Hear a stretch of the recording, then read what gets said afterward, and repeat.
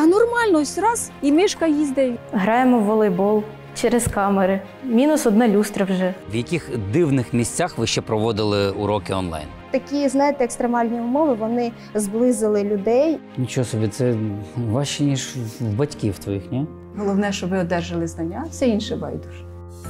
Історії не з підручників. Школа це місце, де вивчають не тільки теореми і аксіоми. Тут формуються правила життя.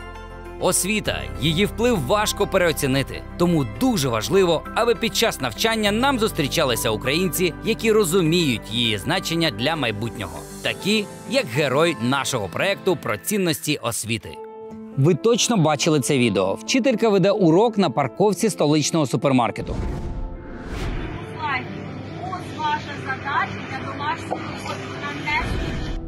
Масові відключення світла цієї зими стали випробуванням для всіх, в тому числі і для освітян. Сьогодні поговоримо про навчання при свічках, ліхтариках та навіть без інтернету. Я Юлія Дмитрівна Баланюк, е, вчитель математики спеціалізованої школи номер 211 Оболонського району міста Києва. Вітаю, пані Юлія. Доброго дня. Давайте поспілкуємось. Скажіть, будь ласка, як так сталося, що ви опинилися саме на парковці? Найважче було проводити уроки в той період, коли постійно е, відключали світло, були блекаути. Черговий раз виключили не тільки плановий графік був, а ще й плюс екстрені відключення. Відповідно, можливості провести уроку не було. Намагалася йти по черзі, де тільки можна знайти інтернет. Спробувала спочатку в коридорі, не бере. Пішла ось тут. У нас між, між двома будиночками можна ще зловити інтернет, але також не можна було. Ну так, по інерції, просто не думаючи ні за що, пішла до е, відповідного магазину. Зайшла в супермаркет, е, думала, що там візьме. Працював інтернет, е, діти зайшли, почали проводити урок, ну хвилин п'ять і знову ж таки вибило. Ну от пішла сюди, думаю, йду, йду, йду, схватило. Ну так стало отут. І провела урок. Та нормально, ось раз, і мишка їздить, і все нормально, і діти бачать. А як ще ви викручувались? В яких дивних місцях ви ще проводили уроки онлайн? У будинку, в якому я проживаю, між поверхами, але знову ж таки чисто випадково, коли не було світла, йшла по інерції. Є інтернет, столик є, стала то і все. То діти казали, Людмитрівна, ви що в коридорі? Ну нічого, кажуть діти. Головне, щоб ви мене чули, і головне, щоб ви одержали знання, а все інше байдуже. Тут на дитячому майданчику Прямо також тут? проводила. Да, на, ну там нічого страшного можна сісти і провести. Ну це знову ж таки, якщо тільки частково виключена е, інтернет від і район частково виключений. Можна ось там на кущиках, відповідно, між будинками також положити ноутбук і провести безпроблемно. Ну біля ялинок тут вже треба держати. Можна, звісно, там у нас кафе і генератор у них є. Вони також давали можливість зарядити ноутбук, але інтернету вже не було. А от згадайте, як ви е, відчули, що ви ну фактично зірка, тому що ваше відео стало вірусним. Які були відчуття? Ну, як для мене, мені було соромно, ніяково і якось не по собі, бо я не люблю популярності, це не для мене. Всі телефонують, хтось шуткує, хтось серйозно говорить. Але якщо це один-два, це ще більш-менш. А як почали телефонувати всі друзі, всі знайомі, і навіть один учень мені е, Діма, він в Одесі зараз проживає. Він мені подарував е, роутер для е, телефона для того, щоб я також могла проводити уроки. Всі знаменита, знамените. Да. Це не тільки я так, всі в нашій школі так працюють. Проводять в метро уроки, інші проводять відповідно е, в пунктах незламності. Ну дехто міг.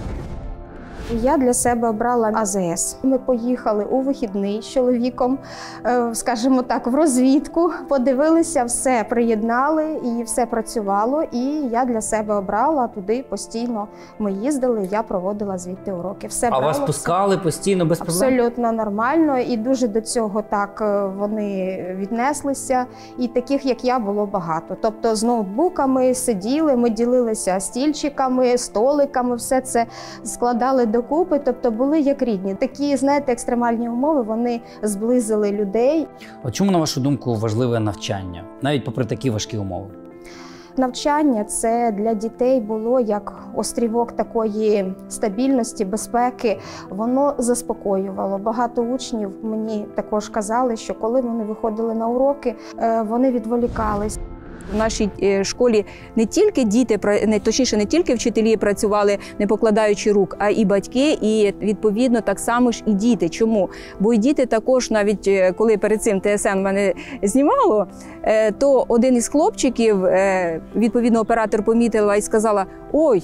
А по- послухайте, це ж метро. Да? Він на той час був метро. Я проводила урок, а він був метро. Тобто діти намагаються також вчитися. Розкажи, будь ласка, як проходило навчання під час блекаутів, коли взагалі не було світла? Інтернет? Спочатку було важко, але ж потім мої батьки встановили два акумулятори і провели ще інтернет. Але це не повністю вирішило проблему, бо вчителі теж не могли виходити на уроки, проводити їх. Взагалі ми опрацьовували самостійно матеріал, але все одно дуже погано все запам'ятовувалося. Тобто важко. Да. Розкажи, будь ласка, що тобі більше подобається? Чи як легше навчатися? Онлайн чи офлайн? Легше офлайн, звичайно, бо там краще можна зрозуміти тему, і тоді немає відключень світла чи проблем з інтернетом. Легше освоїти також матеріал, коли офлайн. І коли сидиш за комп'ютером майже 8 годин, це дуже втомлююче. А як триває твій стандартний робочий день? Ну, шкільний. Ну, я просинаюсь о 8 годині, роблю фізичні вправи, і потім о 8.55 у нас починаються онлайн-уроки і тривають до 15.20.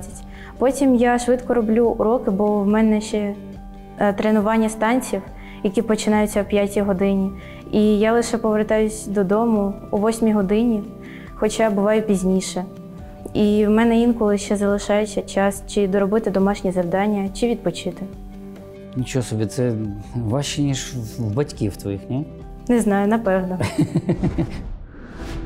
Як ви не опустили руки, власне? Чому ви продовжували навчати? Чому для вас це важливо? Ну, по-перше, тому що е, багато моїх дітей, яких я навчала, я вже не один рік працюю в школі, е, знаходяться на війні, на передовій. Один із е, моїх колег, вчитель історії, і його син також знаходяться на передовій. В одного із моїх учнів е, вбили батька. Ну і таких е, можна прикладів навести чимало, чесно кажучи.